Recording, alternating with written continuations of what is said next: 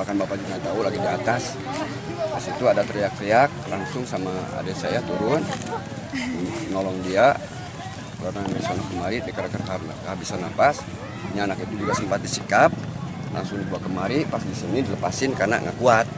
Bahkan dia itu berat gitu keadaannya. Ya, daripada kita celaka ya mendingan ya dilepas aja.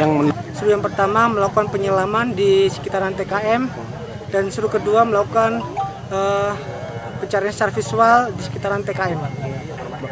Kendalanya apa sih bang? Kendalanya mungkin eh, air yang cukup dingin sehingga eh, kemungkinan korban telat untuk naik ke atas dan eh, sebelumnya juga ada proses pembukaan pintu jadi mungkin ada pergeseran di arus bawahnya.